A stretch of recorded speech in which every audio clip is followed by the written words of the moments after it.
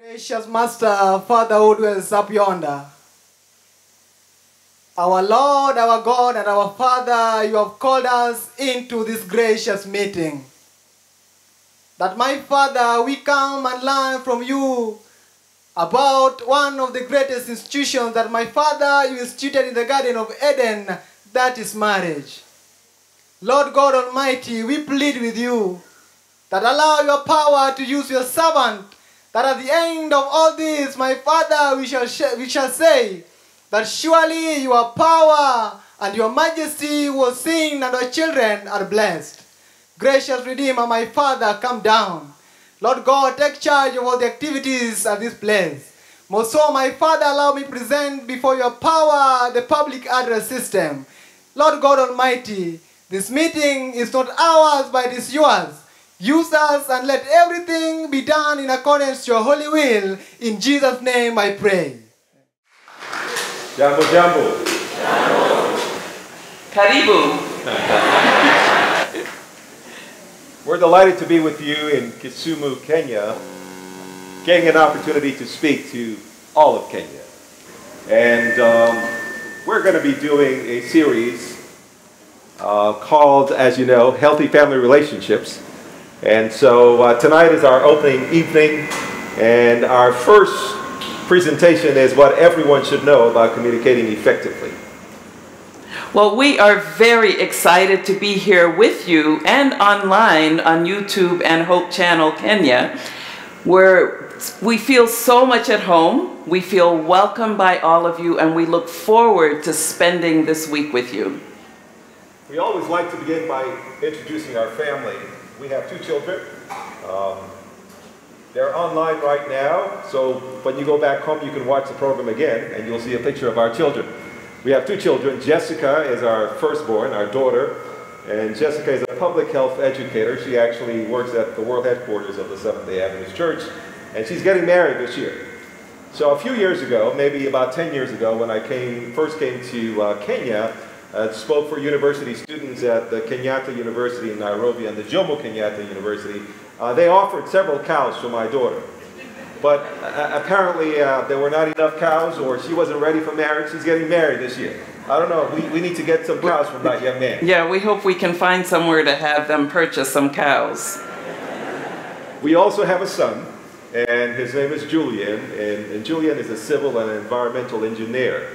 And uh, they're both young adults. They uh, are on their own, and uh, we like it that way. Well, Jessica lives with us Jessica does live with us until she gets married. until she gets married. Julian lives in Washington, D.C., and, and he, uh, he works in the area as well. So uh, I don't know if women offer cows for men, but if they do, uh, we're, we're open to some cows for Julian.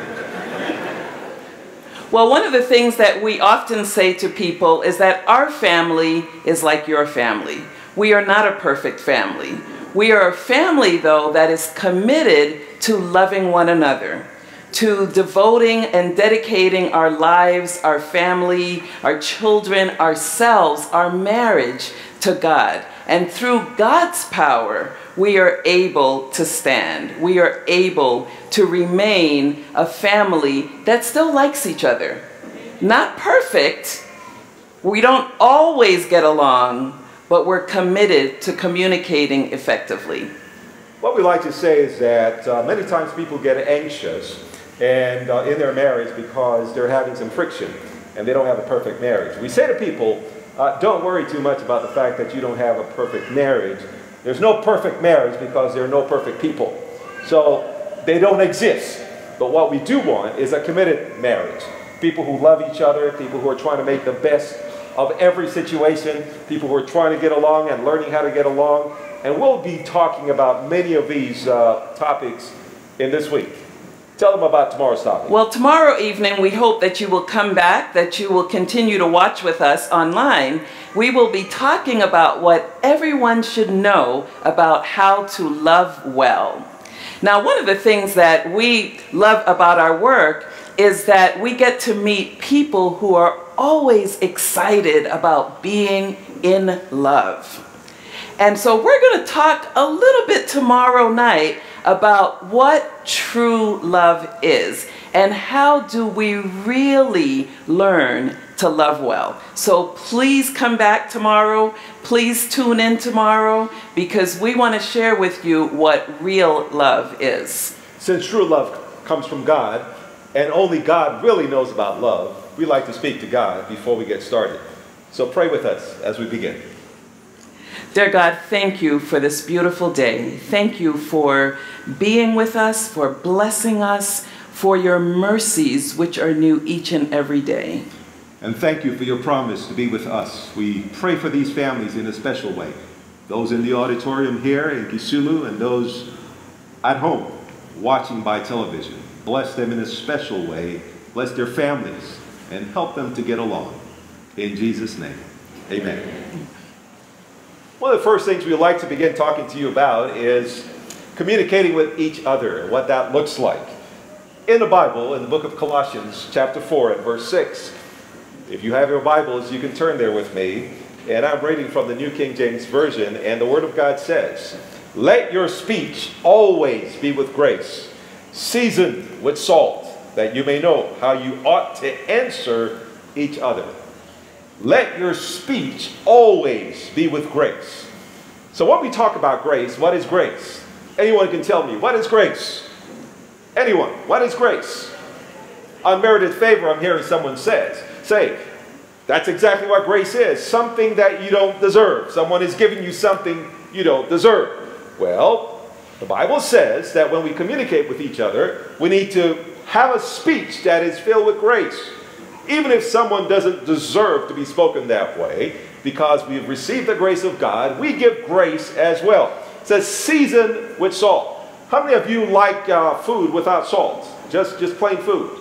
Uh, not, not many. I, I see no one um, raising their hands. And those of you at home watching by television, I don't see your hands either. No one likes to eat food that is not seasoned, that has no taste. So, what the Bible is saying, as we are communicating with each other, we're talking about communicating effectively, that our speech needs to be seasoned with salt. In other words, it needs to taste good. When I speak to my wife, she needs to feel good about what I'm saying. When you speak to your husband, he needs to feel good about what you are saying. Those of us who are married, we know exactly what we're talking about. There are words between husband and wife, and certain words make you feel good. Other words make you feel not so good. Those are the words that don't come with salt. They come with something else, maybe vinegar or something bita. Okay, but the Bible says when we speak, our speech needs to be with grace, seasoned with salt, that you may know how to answer one another. The Bible also says, Let each of you look out not only for his own interests or her interests, but also for the interests of others. So we're talking about communicating with others. And if we are going to learn how to communicate effectively, we need to be more concerned about the other person. Now, I know that's very difficult because we were all born in sin and shaped in iniquity, right? The Bible tells us that, so I'm not coming here to call you names or anything. That's what it says in the Word of God, that we're born in sin. And what that means is we come into this world in a very selfish way. Now, when we're babies, selfishness is okay because you're a baby, you're helpless. And so it's not really technically selfish, although that's what we term call it. But at some point we grow up and we begin to learn that the world does not just exist to serve our needs. So, what the Word of God is saying here is that if I am going to communicate well and effectively, I need to be concerned about the interests of the other person and less about myself. Now, this is countercultural in all of our cultures. Now, they've been saying all day that we've traveled the world. There are some places where we have not traveled, but we have been to all of the continents except for Antarctica. And what we found is that communication problems are the same everywhere. Doesn't matter what country, doesn't matter what state, doesn't matter what county, doesn't matter what tribe. Communication issues exist everywhere, and they're pretty much the same for all of us. And at the root of our issues is selfishness, sin and selfishness. So what we want to share with you a few patterns that destroy relationships. And of course, these patterns are manifested in communication. So if you're going to communicate well, you need to be thinking about the other person. Now, most of us, when we're communicating, we want to communicate, and usually we raise our voice because we think we're right and the other person is wrong. I, I don't know how it is here in Kisumu. They tell me um, everybody's right.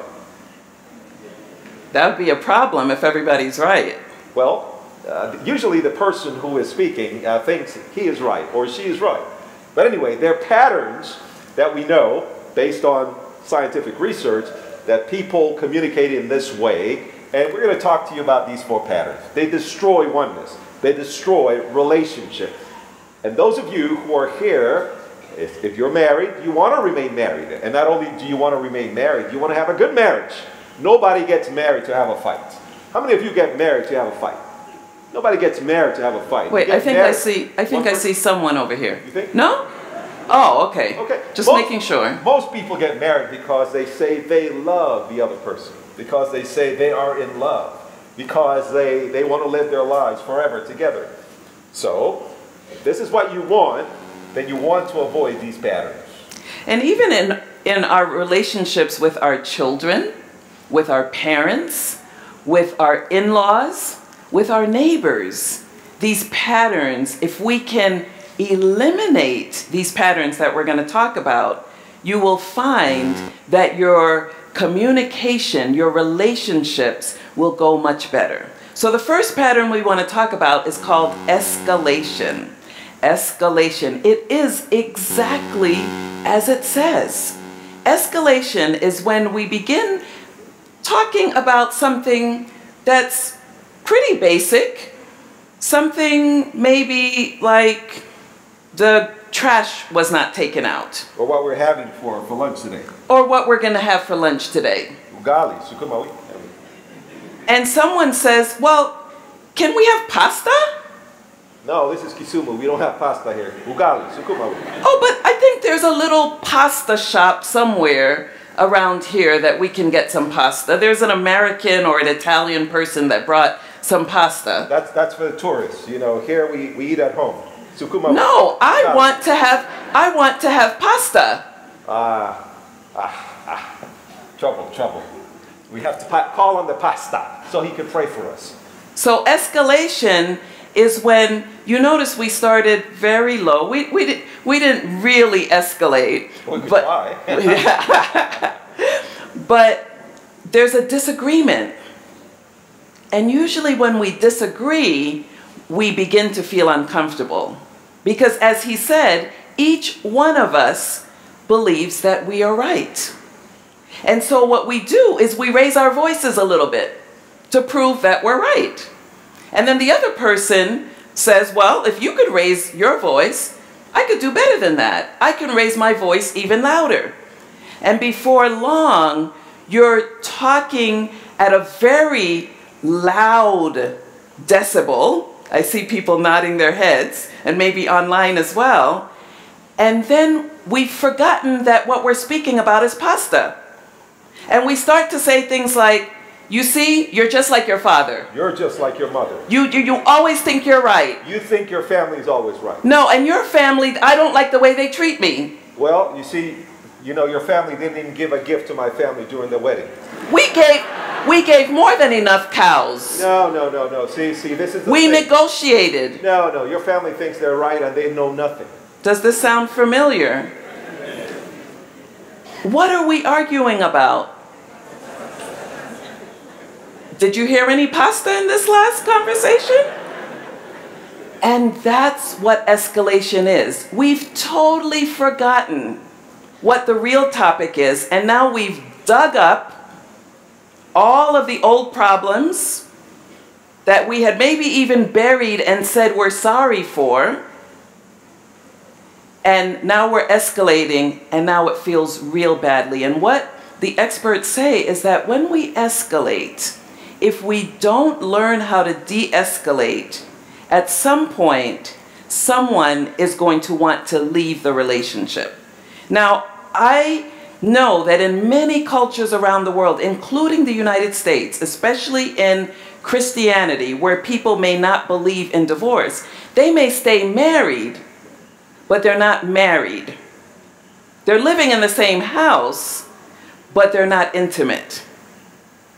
They're sleeping in the same bed, even, but they're not speaking to each other. That's a result of escalation. And what we need to learn how to do is to de escalate. So, sweetheart, see, we start with a nice sound sweet, salt, sugary. Sweetheart. I know. I know that you want to have ugali and sukuma wiki. And I've made some for you. But I'm wondering if you would be willing to come to the pasta shop with me sometime. Well, I'll think about it, you know. Maybe one day this week we can, we can have pasta instead of ugali and sukuma wiki. So we both can be right. Can we learn to do that? We go back to the text, right? We need to communicate with grace. We need to be more interested in the interest of the other person. So if I know that what my husband loves is ugali, before I ask for pasta, I might want to comfort him. Now, some of the ladies are saying, why can't he comfort me? Well, that's true. And did you hear what he said? He said, maybe on Thursday. So we learn to be interested in the other person's interests first. And there's a saying that says, what goes around comes around. Sometimes we use it in a bad way, but it also works for the positive. Love begets love.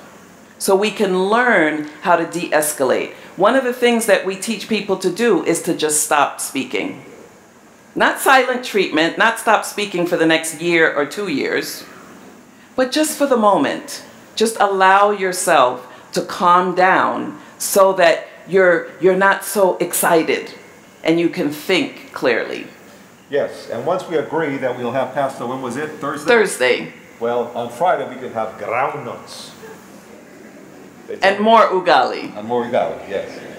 Go on to uh, pattern number two. All right, pattern number two is negative interpretations. And negative interpretations is a very, very uh, detrimental pattern that can really create significant problems in relationships. And what it is, is when I think of my relationship, of my spouse, or what they say more negatively than it really is.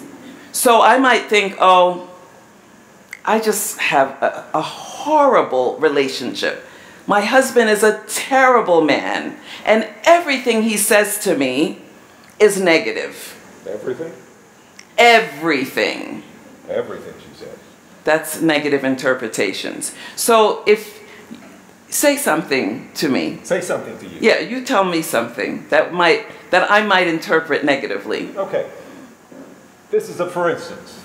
It's um, it's Sabbath morning, and we're getting ready for church, and I'm ready, and I'm waiting, and uh, she comes out of, of the bedroom, and she has on a, a pink dress, and I say, uh, "You gonna wear that?"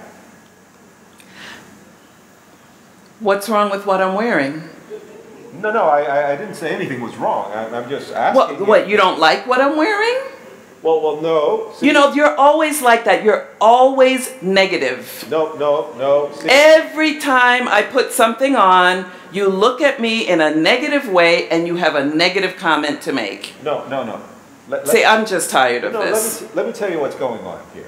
See, last Wait, night, uh-huh. last night we agreed that I would wear my blue tie and you were going to wear your blue dress.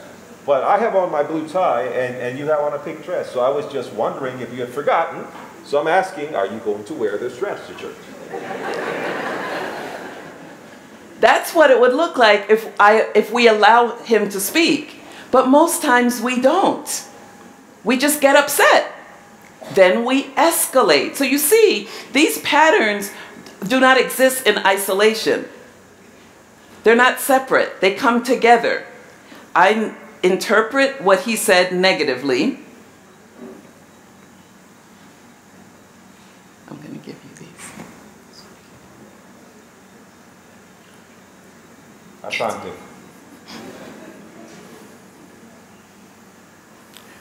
it.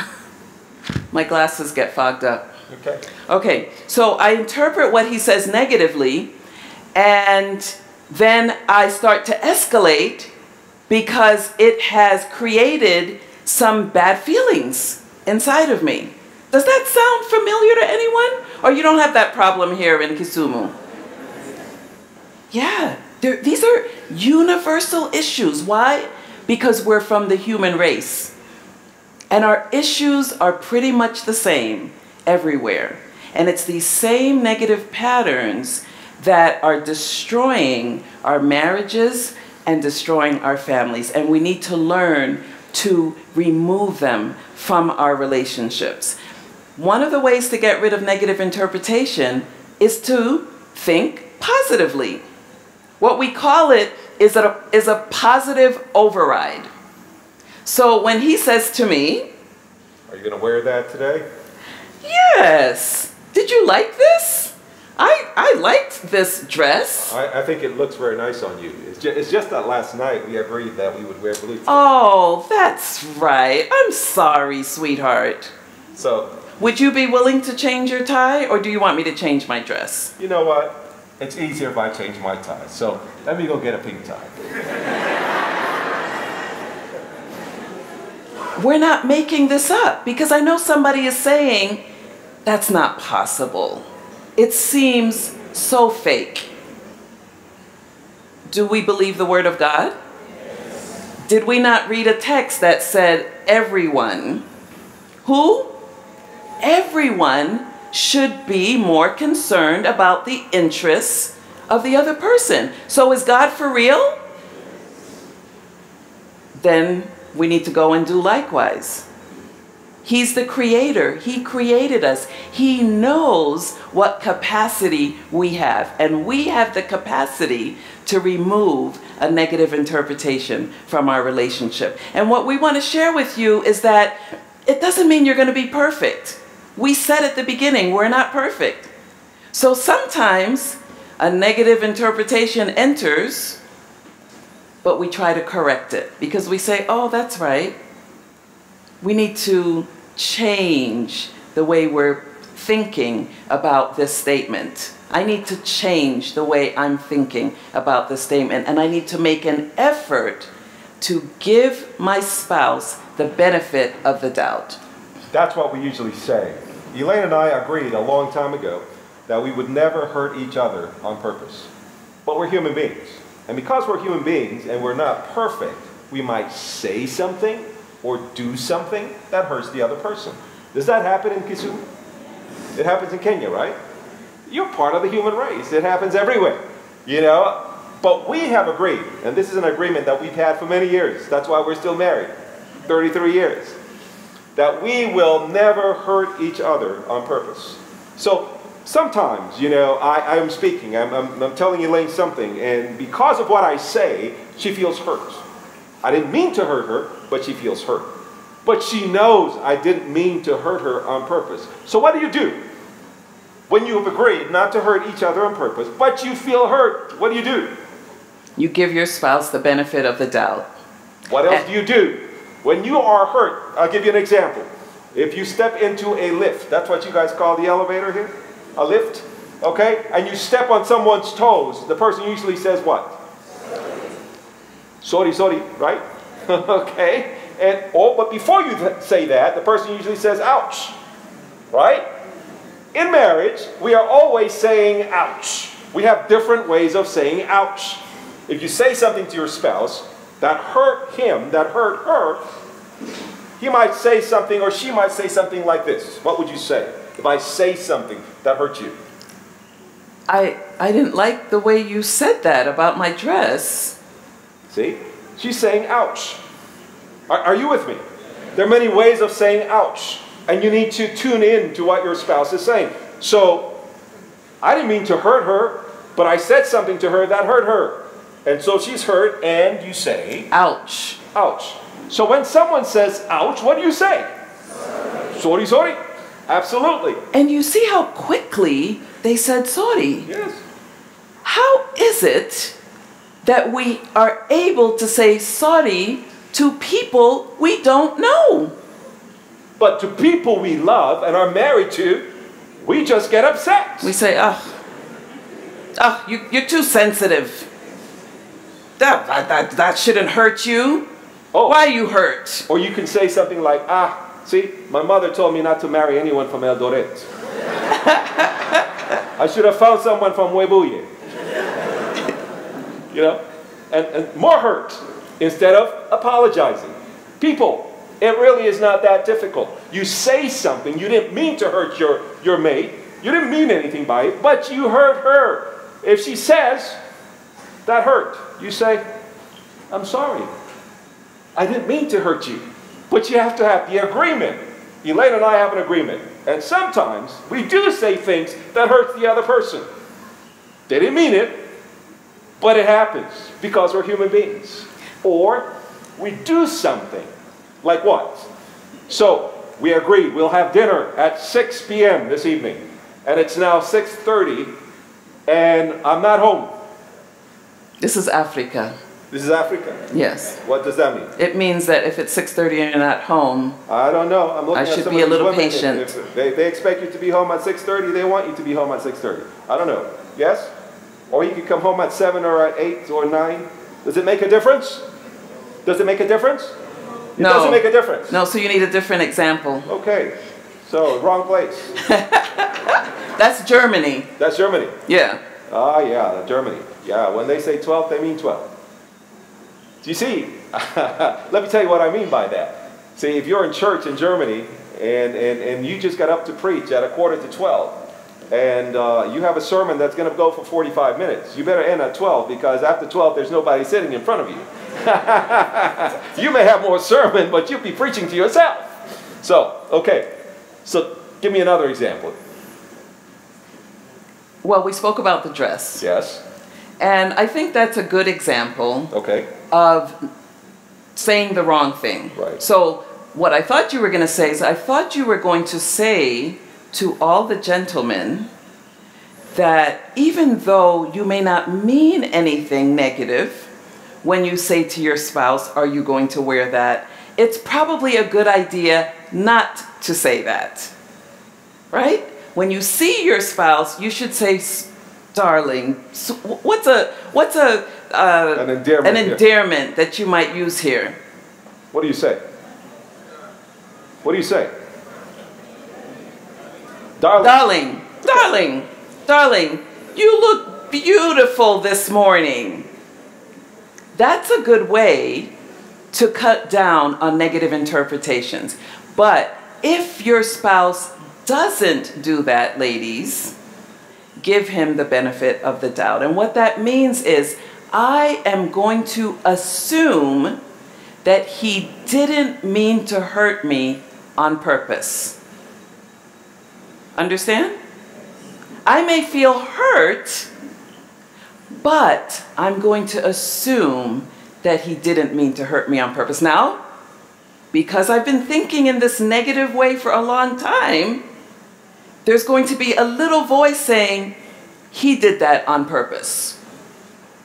But I am going to say to myself, I am going to assume that my spouse did not mean to do that on purpose. So we have the capacity to take a different path in our brains. Just like as if you were walking out here and there was a roadblock, what would you do? You would go a different path. So these patterns are roadblocks to healthy relationships, to communicating effectively. And what we want to do is we want to avoid them. We want to challenge ourselves to take a, a different path. It would be foolish for you to drive down a road where you see there's a big hole. Would you go down that road? Why? Why? Because it's ridiculous. Why? Because your car is going to get ruined. Again, we need to value our relationships much higher than we do our cars, our other personal belongings, even the stranger in the lift. So we can eliminate some of these patterns. Another negative pattern that we have is invalidation. And invalidation is when you put your spouse down, either on purpose or maybe not so on purpose. Let me give you an example. Let me give you an example. Because sometimes we don't understand how it works. For example, you get home and your wife comes in and she says, Oh, I'm so tired. I had a very rough day. And you say, I'm tired too. Does that happen here? That's invalidation. What do you mean? Invalidation.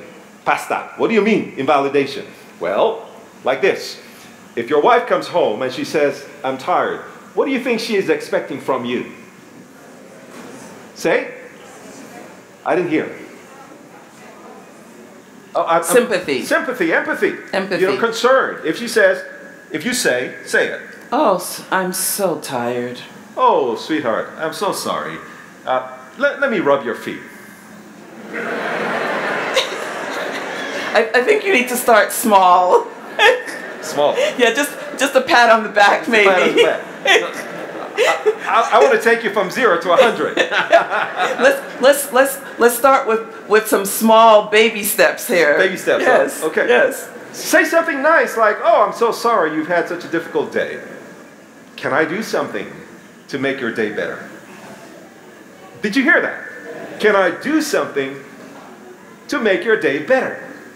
Better. Yeah. Yeah. So, and you know what I want to add to that is that what we hear from many people around the world, again, is that with women getting more educated, and it's not just here in Africa, this is an issue while it's taking a little longer for this to come to the continent of Africa and to many of your countries. We've had the same issues in many countries of the world where women used to stay home, do all the housework, take care of the children, and now women are getting educated. And what does that mean? It means that they're coming into the workforce. What does that mean? It means that now they have what we call the second shift. They go out and work outside, then they come, come home and work. Ugali, sukuma wiki. And what we hear, what we hear from men is that our wives are becoming like the women in the West. And they they, they don't want to cook anymore. Gentlemen, it's not that your wives don't want to cook, right, women? But if she comes home, or you come home, let's say she's still working at home and not working outside, either way, and she says, Oh, I am so tired. Oh, maybe I should make this ugali and sukuma wiki today. I know that's hard for you. Well, but I would even dare say if you, gentlemen, said, Sweetheart, I hear you, darling, I hear you say you're tired. Women, do you think you would feel a little more empowered to go make that ugali and sukuma wiki? Yes.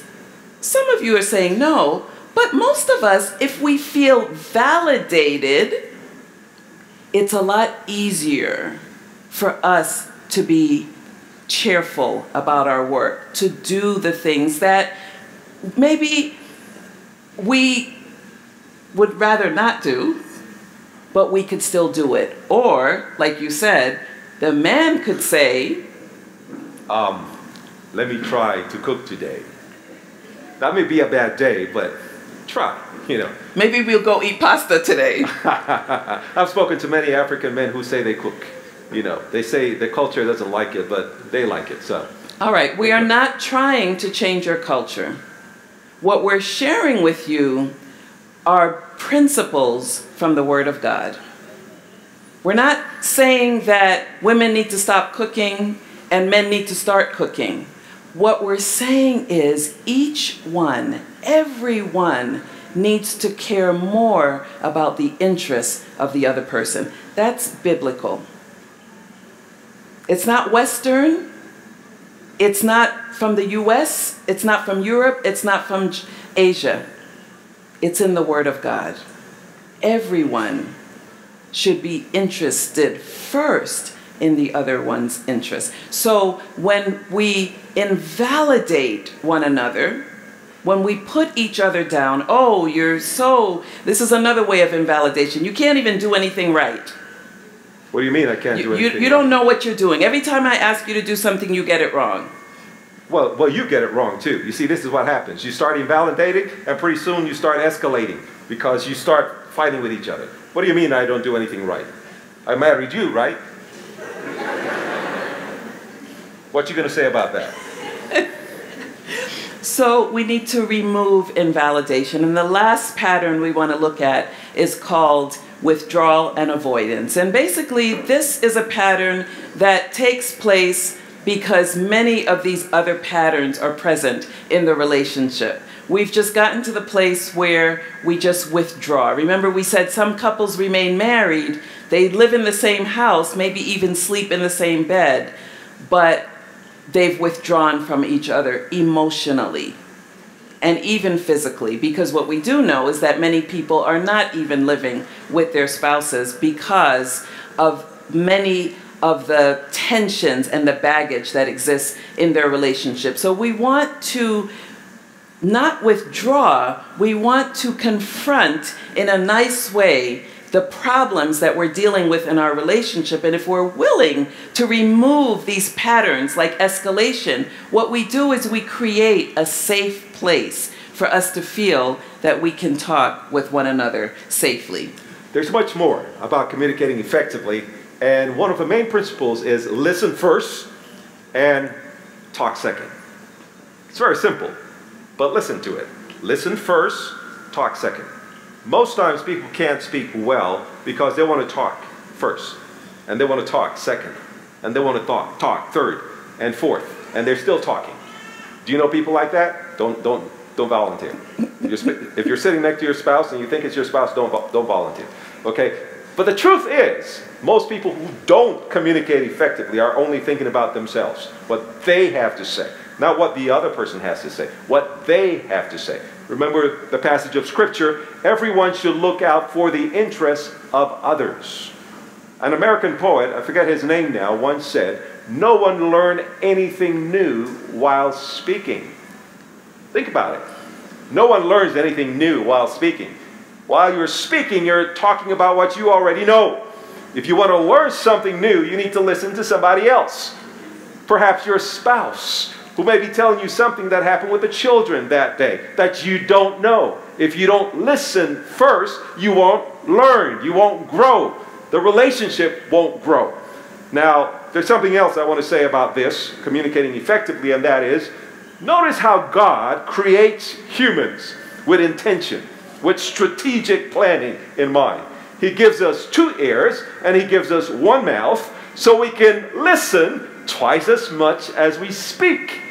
The problem is that often what happens is we speak twice as much as we listen. So, one of the important principles in communicating effectively is listen first, talk second. You know, my preference is to talk first. Is that your issue too? My, my preference is to talk first. I, I, I naturally I want to talk first. But we can all learn how to listen first.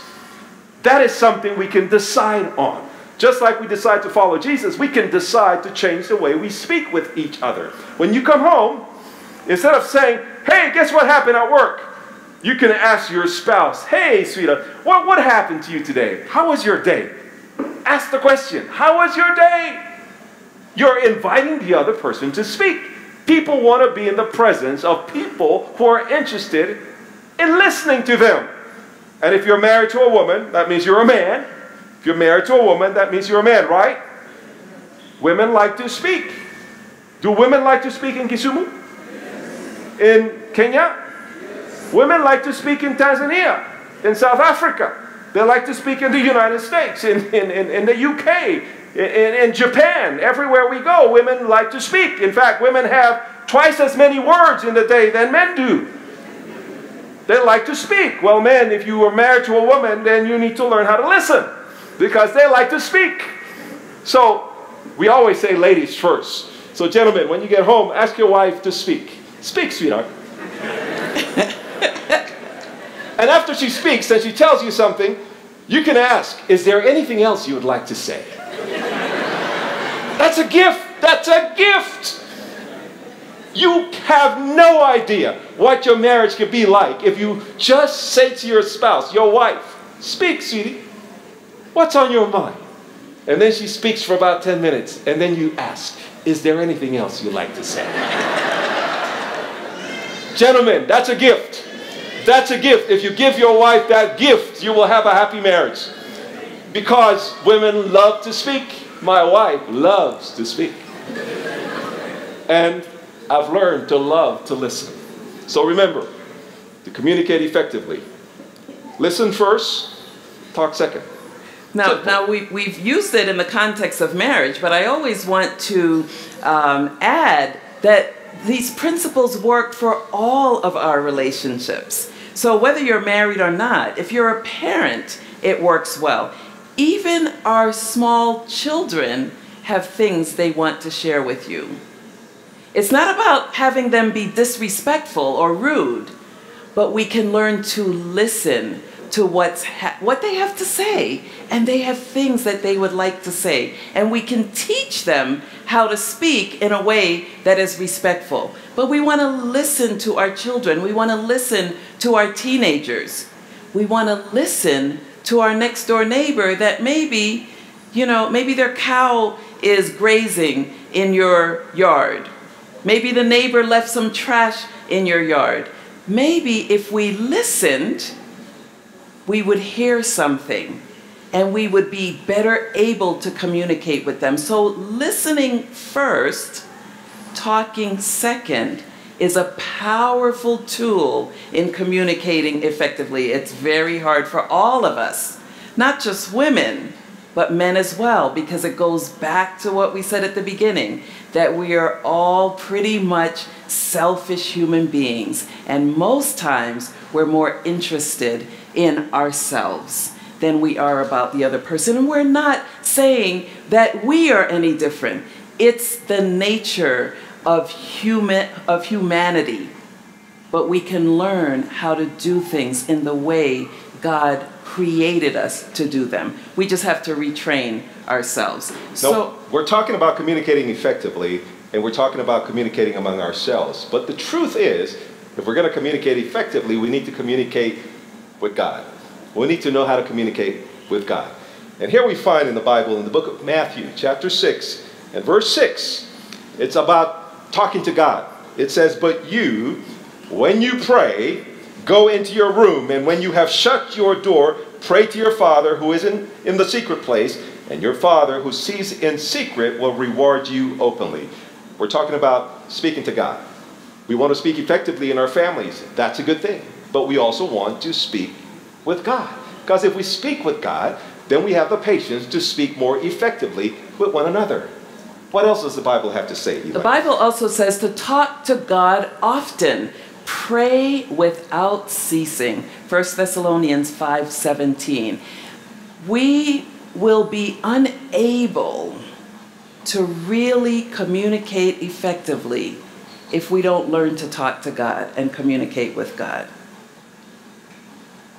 When we talk to God, we have a better understanding of who He is. And the more we talk to Him, the more we understand who He is. And the Bible tells us that God is love. We're going to talk more about that tomorrow, about what this true love is. Also, we need to listen to God. In the book of John, chapter 5, 39, the Bible says, You search the scriptures For in them you think you have eternal life, and these are they which testify of me. We're talking about communication here, but to communicate, we need to communicate with God. Not only do we pray, but we also listen to the Word of God. Because in the Word of God is the message of God for us, because He loves us. God's Word, the Bible, is His love letter to us. In His love letter, He tells us how to live.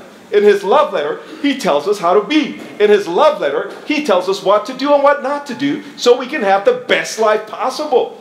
So, if we're going to communicate well, we need to have God in our lives. Some more about communicating with God. In the book of 2 Timothy, chapter 3 and verse 16, for people who might be wondering, the voice of God, all scripture is given by inspiration of God and is profitable for doctrine, for reproof, for correction, for instruction in righteousness. If we're going to live right, if we're going to do what is right, we need to believe the word of God. We need to communicate with God as he is communicating with us as he is communicating with us in 2 Timothy 3.16. One other text we'd like to use as, as, as we try to wrap up and bring this to our conclusion this evening, and that's the movement of God. For prophecy, the Bible tells us in 2 Peter 1.21, For prophecy never came by the will of men, but holy men of God spoke as they were moved by the Holy Spirit. So people are saying, how do we know what's in the Bible is true? We know what's in the Bible is true because the Bible was not written just out of thin air. The Bible was written through the inspiration of God.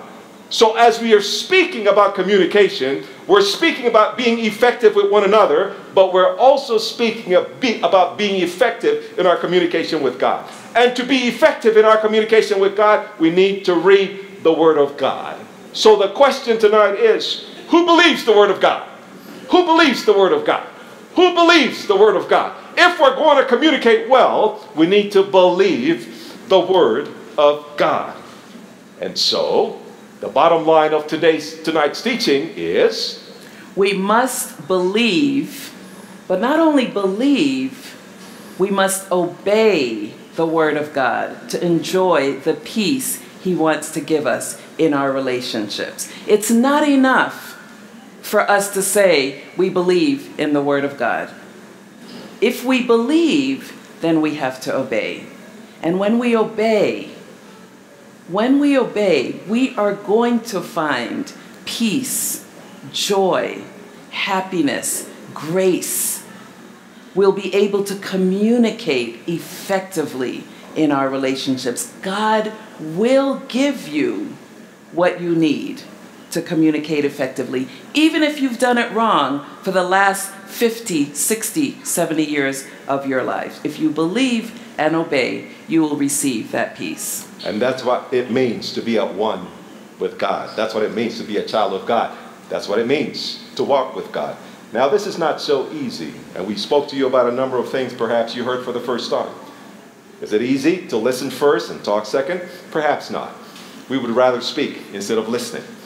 But here's what we do know there is a promise of success. We find it in the book of Philippians 4 and verse 13. You know what it says? It says, I can do all things through Christ who strengthens me. You want a good marriage? I can do all things through Christ who strengthens me. You want to speak well? I can do all things through Christ who strengthens me. You want to be closer to God? I can do all things through Christ who strengthens me. That's the good hope of tonight's message. That's the good hope that to communicate effectively, we need to pay attention. We need to uh, always speak with grace and our language seasoned with salt so that we may speak correctly to one another. We should look out for one another's interests, the other person's interests, not only our own. But that's not easy, but we can do all things through Christ who gives us strength. We can do all things through Christ who gives us strength. Who believes that with God's grace, you can communicate more effectively with your spouse, with your children, with your friends, with your grandparents, with your parents, with your neighbors? Who believes that this is possible? It is possible because with God, all things are possible. And I can do all things through Christ who gives us strength we can do so. We're going to pray with you. And as we pray, we want to remind you of tomorrow's topic. What is tomorrow's topic, Elaine? Tell them to come out and listen. What everyone should know about how to love well. So come and find out what true love really is. And if you're watching, tune in again. I hear it's at 5 o'clock, 5 to 7, or something like that. I believe that's what they say. It's going to be on your screens. And if you're here and didn't bring a friend, bring a friend tomorrow.